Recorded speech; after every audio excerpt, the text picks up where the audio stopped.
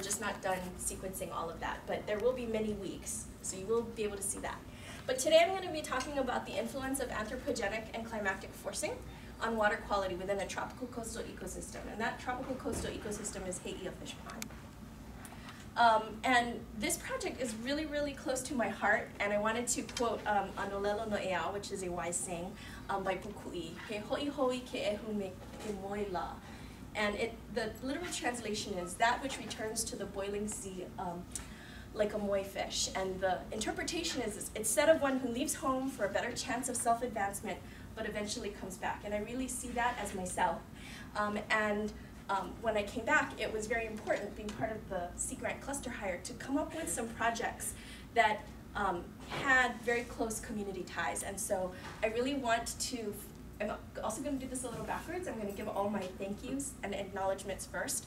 So I really have to acknowledge Paepae o He'eia, who are the cultural stewards of He'eia Fish Pond, and in particular, I'm the executive director and the assistant executive director, Hi'ilei Kawelo and Keli'i Kotubetey, without them, they are like super critical um, stakeholders to this project. And of course, um, Sea Grant, because I'm part of the Coastal Sustainability Hire, and also Sea Grant has been the only people who have been funding this project, which was done on a, on a shoestring plus my startup fund. So this is a very dear project to my heart. Okay, I also want to acknowledge all of the collaborators who work on this because He'eia Ahupua'a, the watershed, is actually a very rich um, research environment. It has a huge number of researchers. I'm not even including most of the fact that um, Coconut Island, the HIMB, is located within the confines of um, He'eia. But I want to acknowledge in particular the He'eia Coastal Ocean Observation System. This is our website. You can check us out on nakilohonua.org. And it's a, it's a hui, it's a group of researchers, um, primarily, actually wholly in the Department of Oceanography, um, composed with Kathleen Ruttenberg, Margaret McManus, um, Kiana Frank, Brian Glazer, and these are also many of the students whose data that you will see today. Um, Becky Briggs, who just recently left, but she, many of you know her because she was the manager of the S Lab, um, Chip Young, Danielle Hall, Amanda Timmerman, and Danny McCoy. I also want to acknowledge the other PIs um, who have really been instrumental in kind of creating um, and sustaining the research there, Judy Lemus, uh, Megan Donahue, Flo Thomas, and Henrietta, um, for a lot of really great conversation and thinking about what's going on in the fish pond. And I really, really need to acknowledge my lab because so much of this data that you're going to see was collected by um, the people that in this image. And a lot of the data you're present I'm presenting today, all of the data, I really have to say, um, this is really the first PI-like type talk where I haven't generated most of the data. Most of this data has been generated by these three women here. Um, Camila Toniakini, who's a GES undergrad, Michela Branco, who is a microbiology undergrad, and Kiana Frank, who is a SOEST Young Investigator affiliated with my group. And so um, it has been such a tremendous um, and awesome experience to work with all of them. All right, so today I'm going to talk about what the main research goals are in this coastal environment. First, it's to establish a baseline for land use change. The second is to understand the impact of episodic events and specifically storms in this environment. And then to ask if we could look much more long term to determine the effects of climate change. I actually ended up ditching this because I realized I wanted to have time for questions, so I have that data at the very end. Um, if anybody wants me to go into that. And, and I'm going to provide an example kind of linking the impact of episodic events with transforming research into stewardship, particularly for Pai Pai o He'eia. So He'eia Ahupua'a, I think, is an ideal watershed because it really provides the ability to survey um, from ridge to reef the different impacts. And a lot of that has to do with the way that the land ownership was set up, that it was originally completely owned by Kamehameha School's Bishop Estate. And so you really have this really nice land unit that has been preserved. Pieces of it have been sold off, but you have this ability um, to really capture in time and space um, a lot of different gradients. So this is where it's located. It's kind of located down in the lower quadrant of Kaneohe Bay. Um, and in this area, you have a lot of different kind of inputs. So into this area, you have He'eia Stream. There are three kind of inputs into the bay. You have a lot of impacts of terrestrial, both you know, people-wise as well as you know, riverine input-wise. You also have a lot of climatic forcing events. Again, I said the stream, how that changes with storms, wind, rain, and you know, the input from the ocean to back to the, to the land and from the land into the ocean. So how do we begin to think about constraining these inputs? What's really great about this is that, well, it's pretty hard to constrain inputs in a situation like this. But something like a fish pond is really nice because when you have this kind of walled system, it provides a mesocosm type system where, whereby if you can kind of calculate these measured, you know, inputs and outputs into each individual um, opening, and you can calculate the volume and the bathymetry, then you can really begin to construct things like a nutrient budget.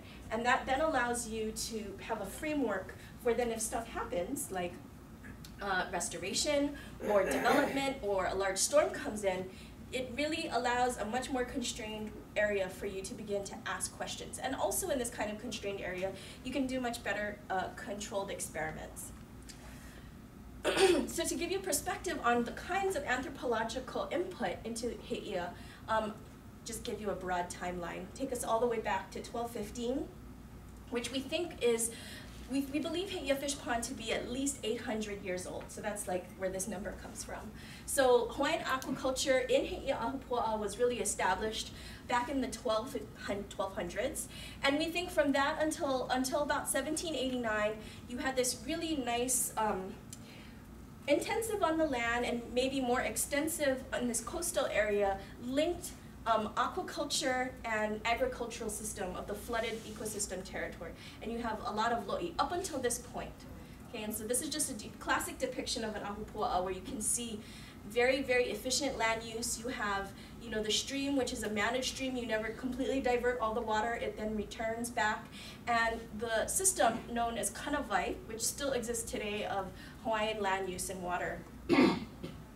um, then in starting kind of post-contact um, with Western, you know, constant post-contact with Western uh, society, you have more of the introduction of a plantation-style agriculture. You have everything from sugar to pineapple being experimentally um, done up upland. And then, of course, what are the downstream impacts? All of that can be recorded kind of and looked at in the lens of this area, this fish pond. And this is an image from 1910.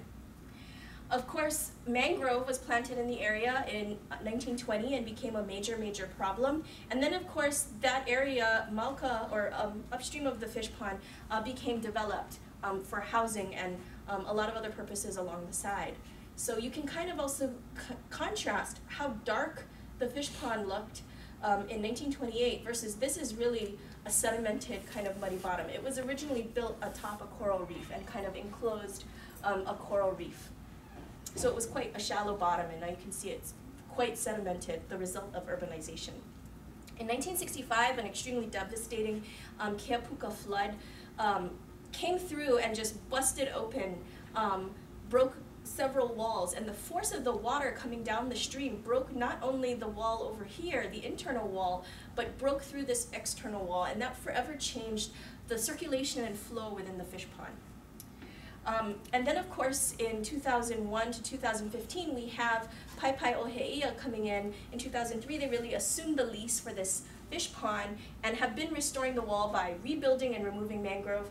And I don't know how many of you guys went, but um, I know Kiana and I definitely went to the final rebuilding of that portion of the wall that was busted open by the Keapuka flood um, this past December, and it was just tremendously amazing to see 2,000 people standing on this wall passing rocks to fill in that puka. And so it continues today. And so you can see all of that can be captured in this one small ecosystem. and to kind of just summarize, again, I love these pictures contrasting. This time it's not just the fish pond. It's, you can see at Mauka that this was, this is, a, this, these are plantations, and you can see this is the He'eia stream that was also diverted into auwai, or irrigation ditches, um, to irrigate these um, areas down here. And there's also a lot of um, natural springs in this area that fed um, all of the crops. And you can see that now it's pretty much a grassy area.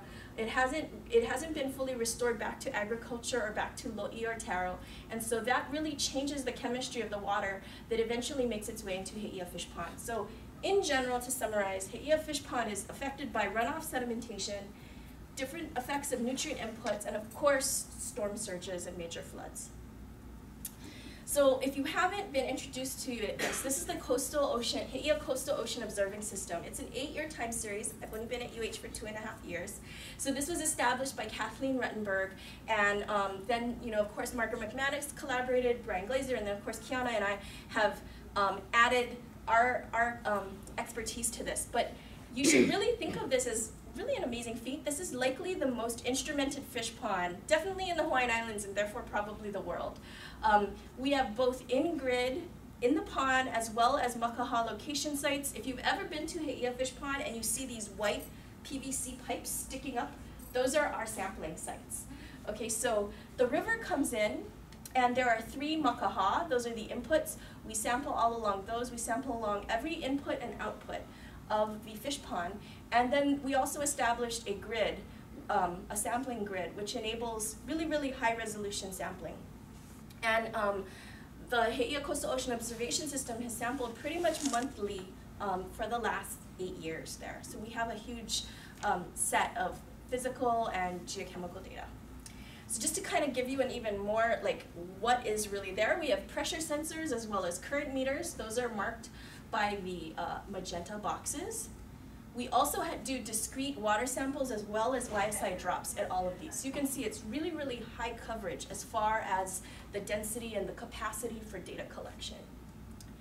So what do we know having all of this heavy, heavy instrumentation in place? There is a lot known about the physical and the geochemical, as I said. So we we, have a pretty good idea of the flow, the depth, the effect of wind, and the temperature. Um, and because of our monthly grabs, we have an idea of nutrient levels, the N-to-P ratios, oxygen, and salinity. What we have very much less limited knowledge of is the biological, which to me, because I'm a microbiologist and biologist, is really the much more interesting kind of component because I think it drives and definitely connects uh, the physical and the geochemical sides of it.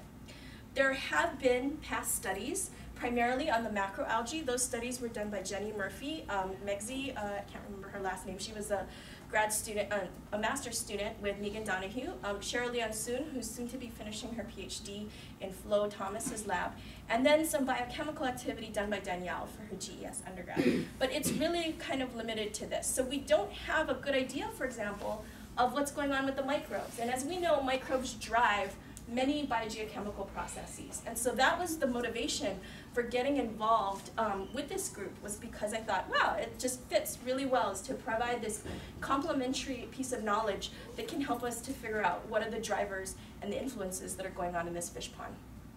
So to provide you with some of the back information, the actual details on what we know physically and um, biogeochemically, um, we actually know the fish pond bathymetry. And I, I love showing this graph. This, the pond bathymetry was done by Sarah Vasconcelos, who has just come back to do her PhD with um, Celia Smith in botany. She, you see these grid maps. This is what she did. She rode around on a surfboard with a GPS and a stick and measured the entire pond. And that's why it's such high resolution is because she physically rode around on a boogie board, or sorry, an actual surfboard um, doing this measurement. And that's how we then modeled and developed how we know how deep the fish pond is. And so you can see that um, it varies according to the tide. So on the spring tide, um, at, the, at flood, it's uh, 300,000 square meters, and on the ebb, it's about 93. So hmm. you can see there's a high, high amount of flux, which is tidally influenced. And then as far as I was speaking to the inputs and outputs, these are all the makaha, flux into and out of the pond, and work by Margaret McManus's uh, GES undergrads, including um, mostly done by Brian D'Andrea. He did all of the rating curves so that we know exactly what the volume is and how much the pressure is and going in and out of the pond at any time. And now, we, because he's done such wonderful rating curves, we can just use pressure sensors, much cheaper, and allow us at any point in time to say, okay, the pressure is this much. That tells us what, you know, high tide, low tide, and what's going on in the pond. There are also extreme flow areas, or were, with the ocean break, and so that's one reason why we always have to keep studying He'eia Fish Pond because um, restoration occurs, and so this no longer exists, but I wanted to show it because it's so dramatic. So at low tide, there used to be this elbow um, kind of wall that was kind of stacked cylinder, um, cylinder um, concrete cylinders. So it was a huge break. It was about 100 yards across, and they you would cross it in this little elbow break that was these stacked things. So at low tide you could cross, but the tide would rise and then it was just slippery going and like be super careful. And I remember one time when I first went to He'eia Fish Pond, they were telling me, oh yeah, we just got like a baby hammerhead shark just slipped over during high tide and is like swimming around in the pond. And it stayed there for a number of months and then left on the next high tide and never seen them since. So um, definitely, the, at least the macrofauna is dramatically affected by these extreme differences in flow. and so some of the amazing data that was put together is that again, this is all HECOAST data, is that we can determine, because we know the rating curves and we've studied it, and we know that the volume changes dramatically, we can then determine the relative magnitude of the flow rate per tidal cycle. So then, of course, knowing all of this, and then also knowing what the nutrient concentration is, that gives us an idea of both residence time as well as building a nutrient budget. So this is pretty dramatic. You might expect that the ocean break would have had the highest amount of difference in flow, but actually it's one of the, it's this other makaha just a little bit farther up the wall that has the, that is responsible for the highest flow. But one thing that I also want to show you, which will be relevant for later, is if you look at the ebb flow, it actually flows out the river Makaha. So normally all of the things that flow in, you can see it still flows in at uh, high tide versus low tide, but maybe the magnitude, actually this is exactly the same. In this area, when it flows out, when water exits the pond, it kind of flows out this way. And so you can imagine that you might have some donating going around in this, in this region because water can go out and maybe some can come back in. And that will be important for later study that I'm going to talk about. so that is the area of highest flow, and of course this makaha down here is the area of the very lowest flow. And so, for example, one way that we can inform stewardship and management would be to say, well, perhaps you might want to put another makaha here, that would increase your flow, because um, this was actually the site of a really dramatic and terrible fish kill event that happened in 2009, at the last, during the last El Nino. And it happened when the fish were penned in this area, likely because of poor circulation that facilitated um, temperature stratification and then like no oxygen. So they got cooked and they couldn't breathe. Okay, so to summarize, the thing that you would think would contribute the most only contributes about 12% of the flow. Um, even though it's only 12%, that's 26,000 square meters that exits and enters um, that ocean break every day, which no longer does. And so I'm actually meeting with Paepae o He'eia on Monday to discuss redoing some of these analyses because they really want to know, now that we've repaired the break, is our pond more salty? Is it less salty? Um, because that really, really influences um, how uh, macroalgae grows and subsequently how the fish that they want to um, grow up to eat will grow. And so basically previous to, to December, it was approximately 6 million gallons per tidal cycle that was exchanged over ocean break, and that was only 12% of the flow. So that always like blows my mind.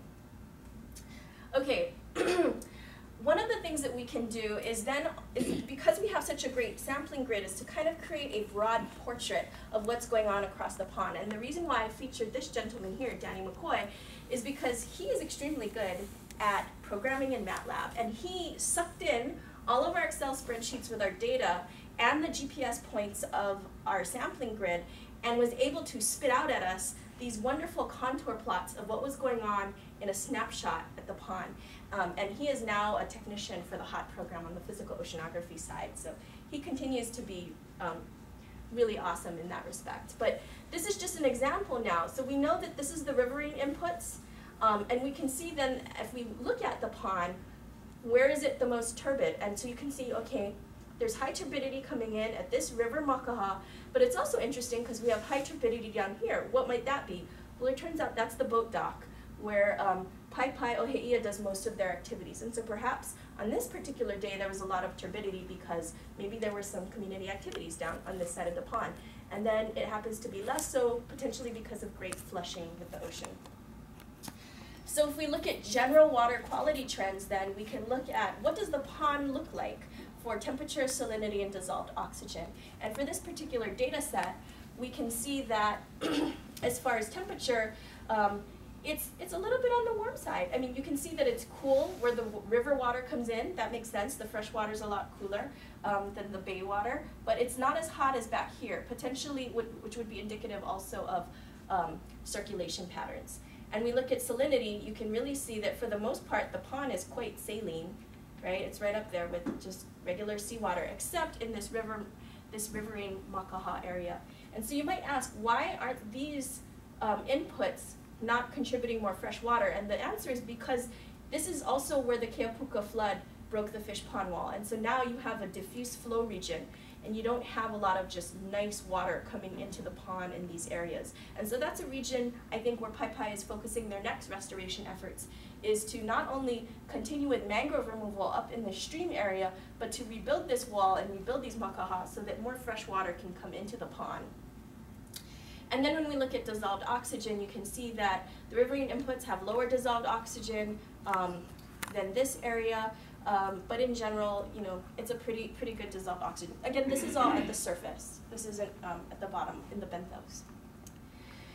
So one of the things that Chip Young did was he kind of aggregated to look at what kind of ecological niches has the pond have now. This might not be the ideal situation. This might not necessarily represent a healthy fish pond, but this is where the fish pond is at now, is that it seems like we have some freshwater input areas. there might be some distinct ecological um, niches representing terrigenous, maybe extremely sedimented areas.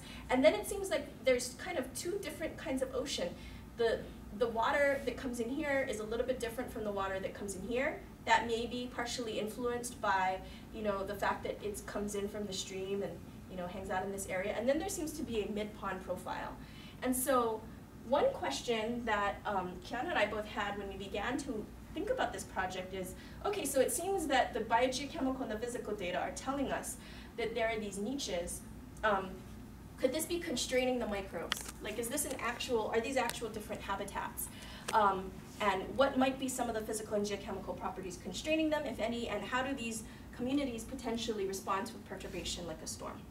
I'm going to tell you I can't answer all of these questions today, but I will tell you some stories near to answering them. So when we first began, we said, okay, what do we know is there? The answer was not much. So again, Sarah Vasconcelos, that great student, she did some EM, just actually, these are the only EM she did, of some sediment that was in the pond, and she did say, okay, there's some diatoms and cyanobacteria. And that was it. That was basically pretty much all we knew. Um, we had done some studies on um, chlorophyll, so we knew something about the photosynthetic potential of the pond, but we didn't have a really good feeling for the kinds of organisms that were in that pond. So of course our question was, who else was there and what are they doing? What you need to know is potentially, how does this food web work? And so the way that the local uh, food web is set up is that it's really meant to be, like I said, aquaculture in Hawaii was meant to be extensive, not intensive, the way that much aquaculture is, you know, like for example in Asia. The goal is not to input any additional nutrients in. You just use natural nutrients that are coming in from the riverine inputs to make primary producers. So the goal of fish ponds was not to make fish, it was to make macroalgae or, or primary producers, even like maybe microalgae, maybe some diatoms and stuff, that would then grow fish because really the, the consumers that were in this fish pond were herbivorous. That was like a fact. I don't know if any of you guys know that, but fish ponds in Hawaii did not grow regular carnivorous fish. They grew herbivores. So that was that's that's the way that the cycle ideally worked. Of course, in the fish pond today, it's an unknown question. So, you know, in the fish pond today, you might have, um, and it's also shallow, so that also kind of helps to promote this whole photosynthetic kind of sea meadow with lots of different organisms. You have nutrients now, maybe the nutrient mm. balance is off. You know, in terms of the photosynthetic, we don't know. We have a lot of invasive algae. What are the different processes that they're doing to draw down these nutrients, and how does that ultimately impact some of the grazers that we can't see in the fish pond? And then, of course, how does that impact the fish? And of course, I want to give Kiana credit because she has mad PowerPoint skills, and I could never have drawn this.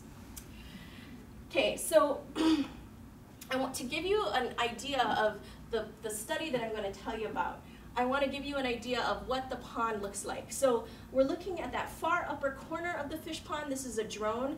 So you can actually see, you might see like, why is it shallow? Why isn't there water here? So that's because the strategy that Paepae o He'eia has used to um, deal with the mangrove is they don't dig it up. They just cut the mangrove off at the water line. And so that whole root mass, that whole root mass is just decaying in the pond.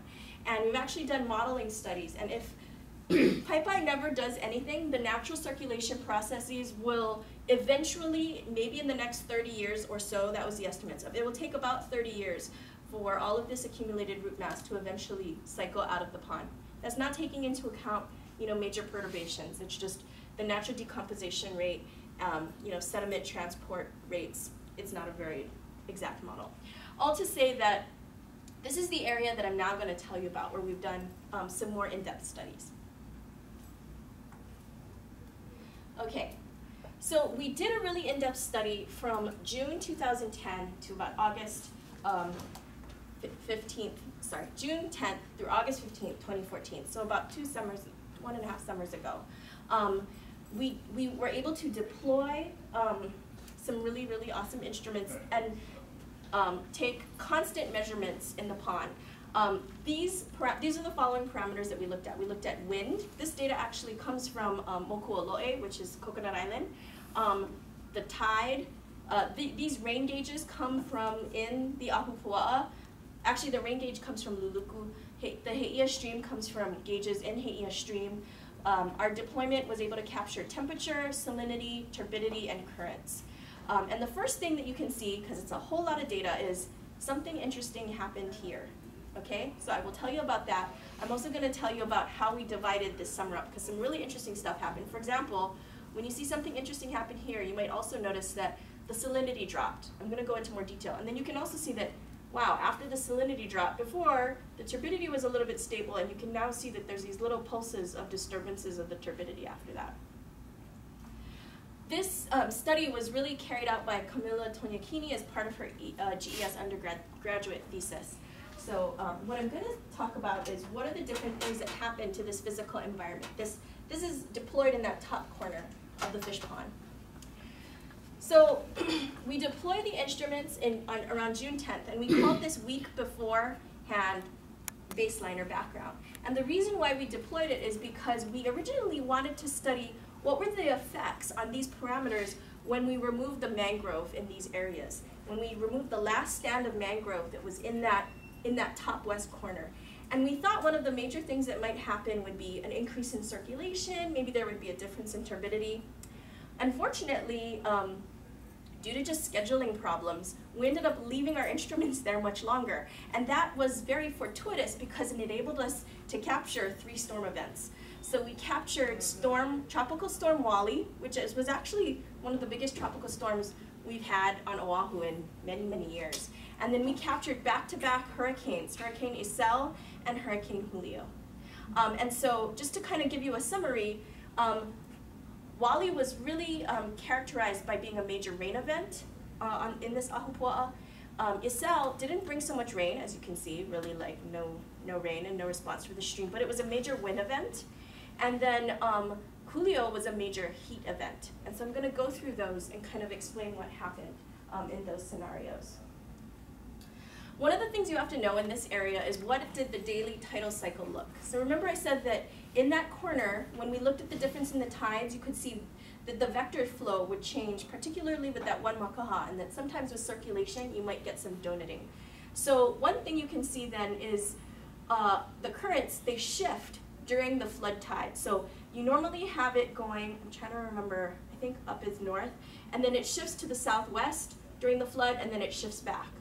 Okay, and so you in, during the pressure, you can also see that it's an asynchronous tidal cycle. So you have, this is the high tide and then the semi-low tide. When, what I mean by asynchronous is that it's not completely, it's not a perfect, um, it's not perfectly symmetrical. And that may also have to do with the fact that you have like a fish pond, which is kind of like a bowl, so it can fill up rather quickly, but then because of the um, that elbow wall, the tide um, leaves slower than it can enter in. So the flow fast occurs faster than the ebb. You can see that in the just the profile of how it looks. Um, we can also see some temperature or some diel solar warming. So it gets um, cooler and then warmer and then cooler and warmer. And of course the salinity changes due to the high tide and the turbidity is also higher at the low tide. So this is what the daily tidal cycle looks like in that area. So you can see most of the time it's going in this direction, but then, soon I hope, we'll see it shift. So that's the flood, that's the tide going out. So most of the time it's coming in, most of the time it's coming in, but then most of the time it's going out. So these are the vectors. Calculate the strength of the vector till it gives you the strength